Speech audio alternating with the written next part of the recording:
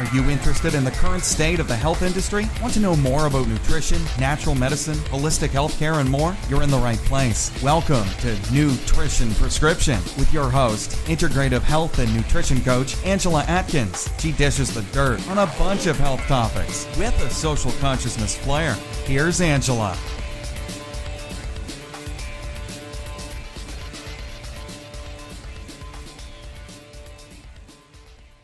Welcome to Nutrition Prescription. This is Angela Atkins of YourHealthUnbound.com, and we're here with a new episode, and I'm happy to be speaking with Ashley Keefe.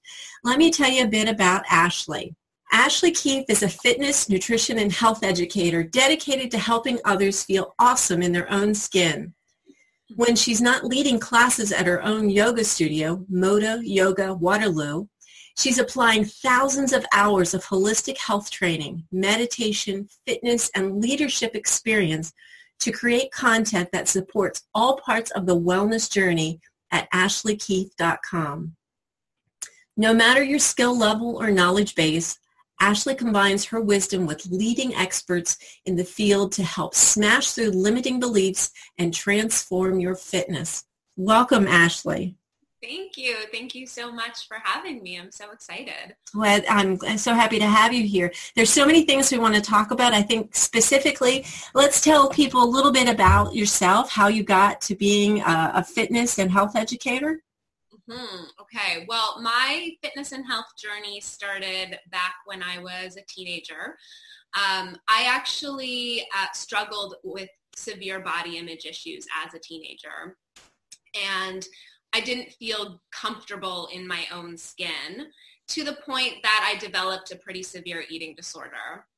So at the age of 16, I was hospitalized. And I remember the moment when uh, I was in the hospital and my doctor said to me, like, that you're, you're at risk for a heart attack at the age of 16 and I had a choice in that moment.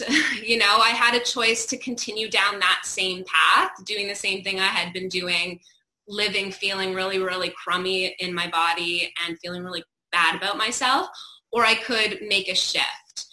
And so I, you know, when I got out of the hospital, it was a long road to recovery, but I, I started finding ways to move my body, to get into my body and uh, to really start to feel good again in my skin. So I first found yoga and uh, the aspect of slowing down, of breathing, of de-stressing, and of really practicing self-love and compassion was so instrumental to me being able to start to look at myself in the mirror and actually like what I saw that I wanted to keep diving deeper into it. So I became a personal trainer uh, in university.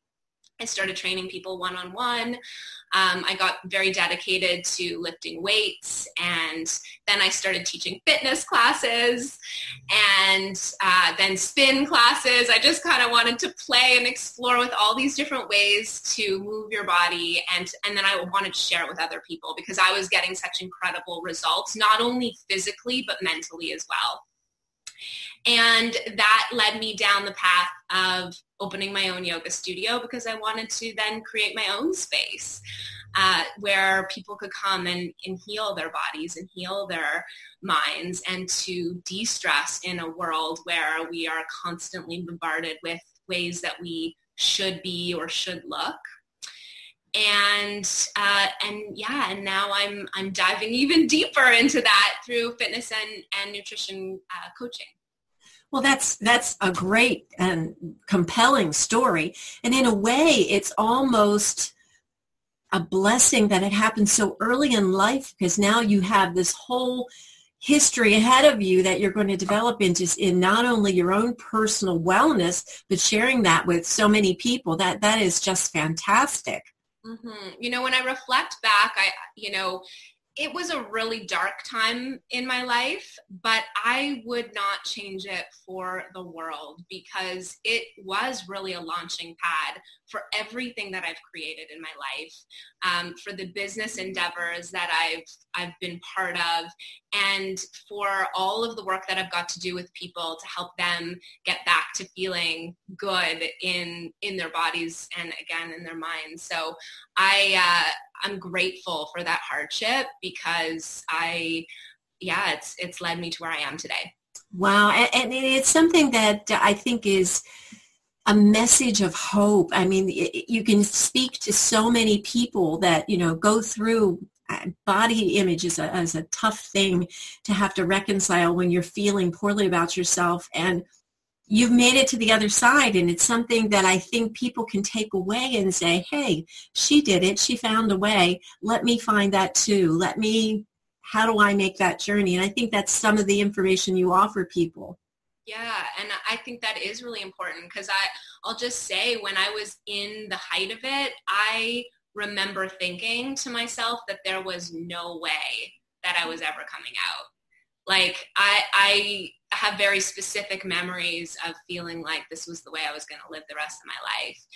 And then like I said, that moment in the hospital with the doctor where I was like really faced with the fact that I I was damaging my body so much that I was putting myself at risk of a heart attack at the age of 16. Like something lit up and woke up in me that was like, there is another way and I'm going to find it. And I dedicated my whole life to that. And I do want to share that with other people because I get what it feels like to be in the trenches where you're just like, there's no way I'm going to I hear your passion, and I'm certain anybody that has has felt that way or feels that way, and who hears that can resonate that you know you do get in this dark place, but there is hope. There is a way out, and that's something you were uniquely qualified to help uh, these people. And I'm certain there are many young women who get to this space, but it's not only young people. I think we live in an age where body image is so distorted by what we see in the media, what we, you know, these fantastic tales of what should be rather than what is really true. I mean, mm-hmm. people are not airbrushed. Mm-hmm. So it, it's something that I think we should learn. Uh, if uh, like women in my age, we have to learn to to age gracefully, mm-hmm. and I say that kind of tongue in cheek because what does that really mean? It really, I I think that term has has has been used to gentle, uh, make things sound gentle for what you're going through, but your body's going to change and you just have to go with it. I mean, normal aging is a good thing. You don't want to not age and you just have to do the best you can to age, not, not just gracefully, but healthfully. That's the whole point. If you if you age and live your life with good healthy habits, then you're going to actually live a better life. You're going to be happier because being healthy is one of the great aspects of being happy. A hundred percent. And I, you know, my mindfulness practice and yoga practice was really instrumental in training me to get comfortable with change because I, I, mean I know that I like to hold on to things when they're working really well and I want to push things away when they're not working really well. But part of the practice of opening to all experiences as they show up and you know not, not becoming indifferent to them but really being able to experience them with equanimity you know, then as things do change, we don't have this underlying anxiety that shows up, right? It's just like, oh, you know, everything is of the nature to change. It's a learning experience. Yeah. We, if we look at everything, even the bad things, as a learning experience, then I think we we take away uh, things differently rather than saying something good happened or something bad happened. Mm-hmm. It's something you experience that you learned from, and that learning experience takes you on a different path. Yes, 100%. I think that's so important to change your mindset around that. Um, and, you know, when things whenever something comes up that you might not like or that you feel resistance to or challenged by, reminding yourself like, this too shall pass. Exactly. and we, we were just talking and I, I brought up, you know, developing those habits, you know, for being living a healthy life. You have developed seven habits of highly healthy people and you're going to share that with us today and I really want to kind of dive into some of them and hopefully you'll give us some tips. Yeah, for sure. Well, I was inspired by Stephen Covey's Seven Habits of Highly Effective People, which I just finished listening to for the second time on audiobook. I think it's amazing and I think it's really, really important nuggets of wisdom. And um, as I was listening to it, I'm like, oh, I'm going to apply this to, you know, small, accessible changes that we could start to make right away to improve our health and to prove, improve how we feel in our lives. So I'm, I'm super happy to share those. Oh, awesome. We're, I'm and looking forward to it. Yeah, as we're going through them, if you have questions, we can dive a little sure. Absolutely. Um, the first one is to breathe. you and know, you know what? I am I'm so glad to hear you say that because every time somebody asks me, that's my number one also. the first thing you need to do is stop and breathe because yeah. we don't do it. We're not conscious of it. Yeah, I mean, we take for granted, granted from the moment that we are born to the moment that we pass that we're, you know, we are always breathing, but most of the time we're not conscious of it. And very often we're not breathing to our fullest capacity and breathing in an effective way that helps to calm the nervous system down, right? So the very act of breathing consciously where you can feel your abdominals, your rib cage, your chest fill up taking the full expansion of your breath and then letting everything soften down, that in itself three times can dramatically change the whole trajectory of your day. So it doesn't have to be something complicated. It doesn't have to be long. And the amazing thing about breathing is that you have it with you wherever you go. you know? That's so true. Yes. You know, so when you are driving in traffic and you get frustrated at the person who cuts you off, you can take three deep breaths. You, you get to choose that. And right away it has, you know, an impact on your blood pressure, stress levels. And it's almost impossible to be stressed if you're truly doing active breathing. Totally, totally. So that is my number one. And, you know, the body also rids itself of 70% of its toxins through breath. So when you consider, we live in a, you know, toxic environments, right? There's toxins all around us. And there's ways to reduce our toxins, obviously, um, but we want to make sure that we have healthy habits to release them. And breathing is one of them. And again, like I said, it's always with you. So it's something that you can always be doing, breathing consciously, knowing that you're letting go of the, the toxins that accumulate in your body as you're doing it. Um, it also, uh, you know, improves the mind-body connection. So you you start to feel more connected not only to yourself but when you but when you feel connected to yourself you can connect more deeply with others right? And everything is relationship. Um, we don't live on an island. We live in communication with everyone around us. So it's important to be able to connect with others. Uh, that, that goes back to, I mean, from the beginning of when I started my journey, that goes back to the pillars that I believe that everyone needs to work on. It's not just the physical, it's not just the emotional, but it's the spiritual and the relational that, in, that are included because you have a relationship with everything you come in contact with. People only think about relationships when it comes to a significant other but there you have relationships with the entire world at some point. So I think that's a very key key component. 100%. I mean, you're in relationship to the food that you're eating. Like it's mm-hmm. not even the it's not even just people, it's everything. Everything. Um and and you know, when you're in that connection place too, you're able to breathe and you're finding that connection like going outside and feeling the sun on your skin like that experience can be so beautiful. Like it's, and it's so simple, right? Is that another one of your uh, habits? It, yes, it is, but it comes a little further down. Jumping ahead. But it is, but it is, it, it is definitely an important aspect is to really slow down and, and the breathing helps with that, to slow down, to get present, um, and to appreciate the things that are around you. Um, I mean, there's uh, many other um, benefits to breathing. It helps to um, pump our lymphatic system so it improves your immune system. The lymphatic system is the only system in the body that doesn't have its own pump. It needs to be pumped through either breathing or movement. Um, so super important also helps to release toxins um, mm-hmm. from the body. That's why I have a rebounder because yes.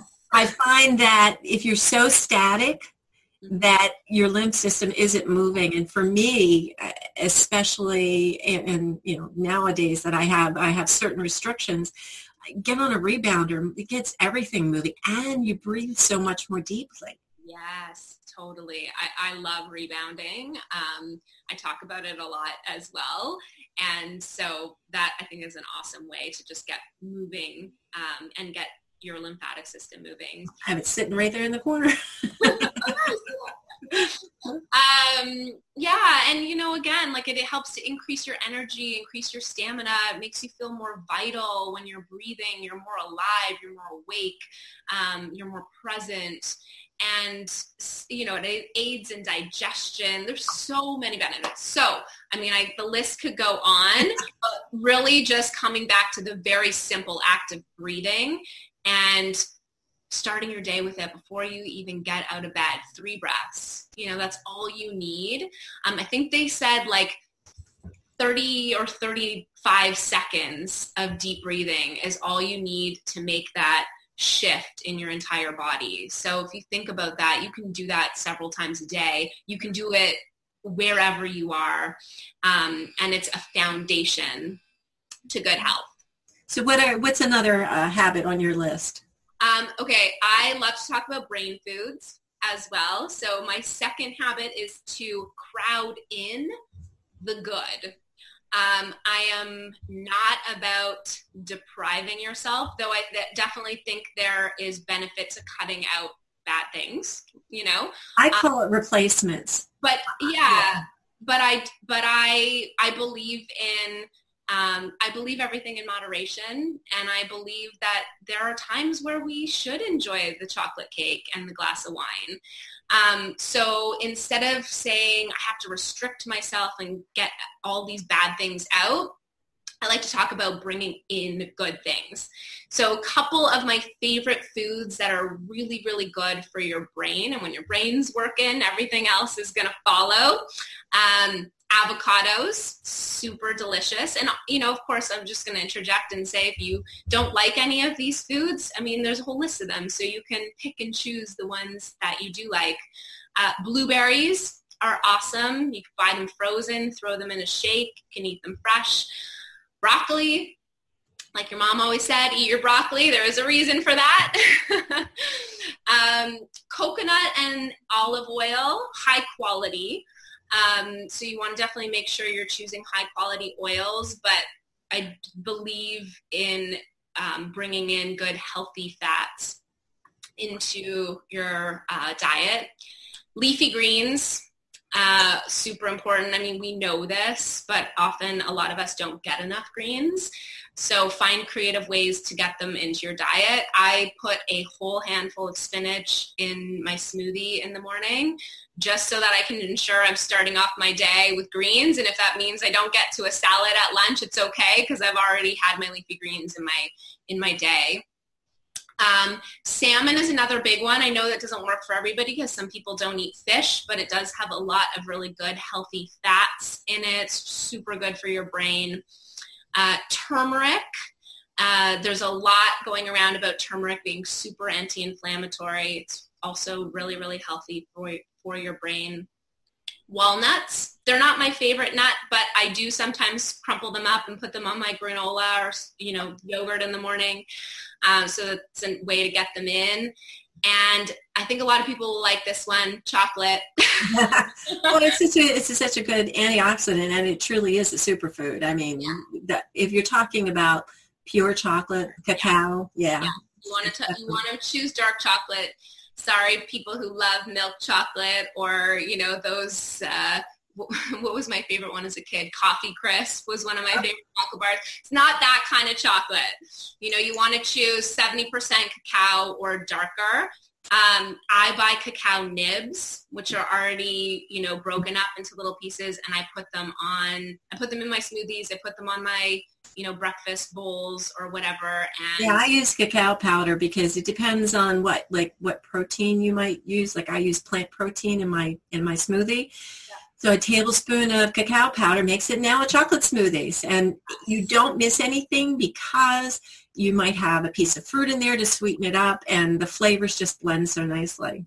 Yes, yeah, totally. That's a great way to also put it in, sprinkling mm-hmm. the powder on. Yeah. Um, yeah, so those are those are my favorite top ones. Obviously there's so many more. Yeah healthy things you can well, we've got we've got a list of uh, habits we need to to kind of okay, the, next, the next two really go hand in hand. So habit number three is moving your body.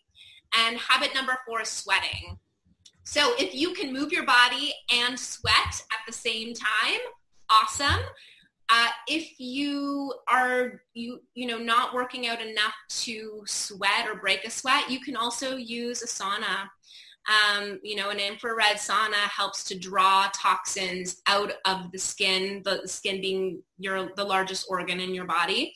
Um, so, but you do want to make sure you are finding a way to sweat, it, it, whether that's moving your body or using a sauna. So, uh, you know, I think moving your body is pretty self-explanatory, but I, you know, I one thing that I just want to highlight under that habit is that you want to make it enjoyable to you. So if you hate lifting weights or you hate going to the gym, find a class. You know, if you love dancing, go to a Zumba class or find a fitness class that is revolved around dancing. You really want to find something that's going to keep you inspired to keep going back. Um, and when you you don't feel motivated to do your workout or move your body, knowing that it's something that will light you up is part of creating that spark of motivation to keep going. Yeah, I, I find that, you know, back in the day, uh, my husband and I used to take uh, ballroom dancing. And believe it or not, you will work up a sweat even trying to do that. Just getting being precise in all the movements. If you're if you're not used to it your body will work hard. So it doesn't really matter what the activity is. It's just keeping your body active. Yes 100% so moving and sweating totally two key things to up leveling your health and uh, my fifth habit is to practice gratitude for the things that you have. So this goes back to what we were talking about earlier and really being able to appreciate the small things. Um, you know, I have a journal that I write in every night and I just list all of the things, big and small, that brought or sparked some joy in my life. And it, it could be just walking outside and feeling the sun on my skin. Um, it, it could be making a connection with a stranger. It could be the first sip of my coffee in the morning. you know, so it's, but the more that I do it, the more I realize like, wow, I have a lot of things that spark joy in my life. And I sometimes bypass them really quickly because they're habitual or you know, I just am not taking enough time to slow down and really recognize them. So I, I think gratitude journaling is really um, is important. But even if you're not writing them down, at least calling three things to mind at the beginning of the day or the end of the day that really spark joy, um, that you're grateful for, that you appreciate, and that it starts to train your brain to see more of those things. And actually, I wrote a blog post about this, and I put a little video in it with my um, my 12 year old niece because when I was home for the holidays, she saw my gratitude um, alarm go off on my cell phone and she said, oh, that's cool. You have an alarm on your phone that says gratitude. And I said, yeah, what do you know about gratitude? And she, you know, she said, well, it can help you make more friends. It helps you to feel better. It helps you sleep. She started listing all these things because she had just done a project on gratitude at school. So I thought that was really, really, really cool. It's good um, that they're introducing that concept in schools. I yes, it made me very happy because I think as soon as you know when when kids are young, it's the best time to start to train their brain um, because brain's plastic. It can be trained. Mm-hmm. Uh, the older we get and more set in our ways does become a little bit more effortful. So, um, you know, I, I want to just say one more thing on that point. Um, you, because our brains get set in our ways, um, when you feel like you're struggling to remember the good things, know that you're not alone. You know, we all go through that.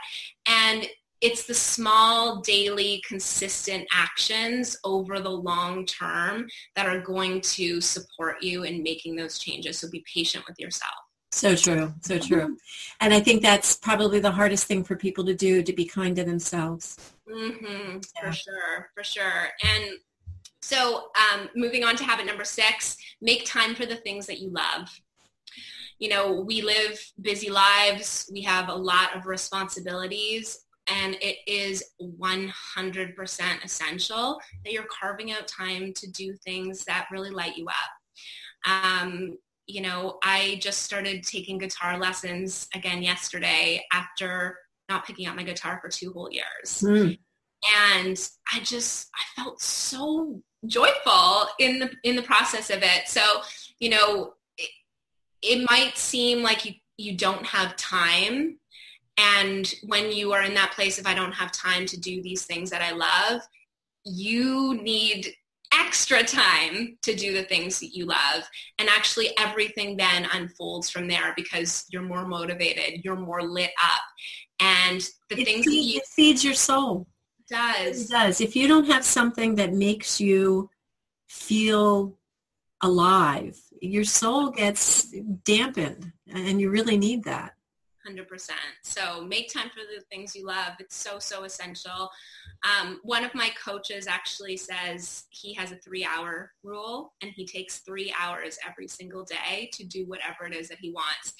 And um, I, I realized he, and he said this too when he was telling us this, that it, um, a lot of people feel like I have no, there's no way. Three hours is just not possible. So start with one but work yourself up if you can because you don't want to be resentful for the other things going on in your life. So take time for yourself first.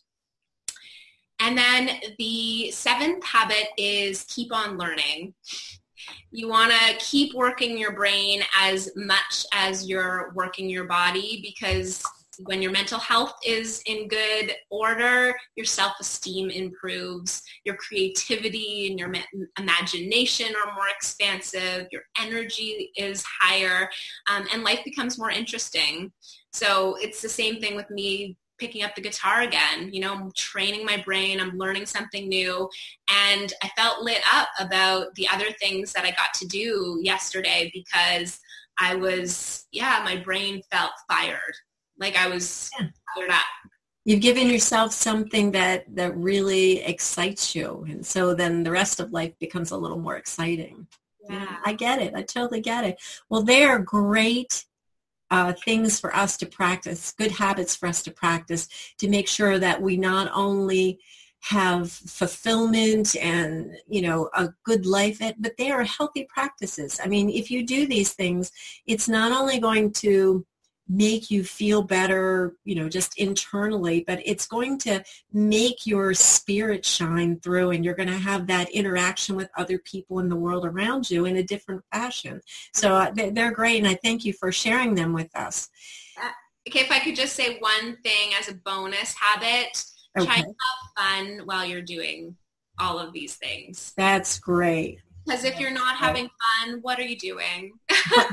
you know? Really? That that's very true. That is very true. One of my mentors used to say, you know, she used to say, if you're not having fun, stop doing it, but then realized obviously that's not always realistic because there are mm-hmm. things we have to do that we don't like doing. But uh, she she changed her mindset to if you're not having fun, try doing it a different way. Exactly. I was I was going to mention. I think that that's the that's the key that maybe you're not doing it the way that works for you. So find a way. Well, you have given us some great tips, but you also have something great to offer. You have uh, an online show that you have gathered experts together to offer great advice on transforming your fitness. Please tell everybody about it. Okay, I'm really excited. I'm, I'm bringing together uh, 20 experts in the field of fitness, nutrition, and mindset. And we're going to be talking about strategies to get more movement into your day, especially if you hate the gym, uh, easy ways to add health punch to your day, how mindset is key to achieving total body health, uh, what to do when you don't feel motivated, which is one of my favorite questions to ask people.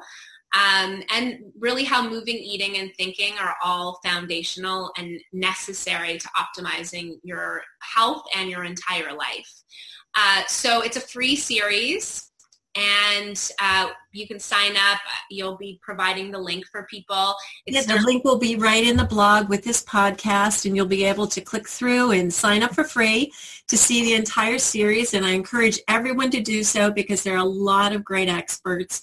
There, there's a lot of advice that you're going to get that maybe you've gotten nowhere else. And just like Ashley has shared here, there's some great, just little tips that you can do today that's going to make life better yeah, I'm so excited and I hope you'll join us. And, you know, it, whether or not you join this series, you know, let, let me know what you've learned. I, I really love hearing from people. So Angela, please, you know, pass my email. Yeah, along. there'll be contact information with the blog. And we are just, I am so grateful to have you here with me. We could probably talk all day long about this. I mean, your passion for fitness and, and life in general, I just, I love hearing that because I feel the same way. I'm not the fitness person, but I, I do feel that way about keeping your body moving and nutrition is so important. And that's been my focus now for years is that people need to keep their mind focused on what is going to make them the happiest. And if they feel good and they, they treat their bodies respectfully, they're going to enjoy things much better. And like you said before, have fun while doing it.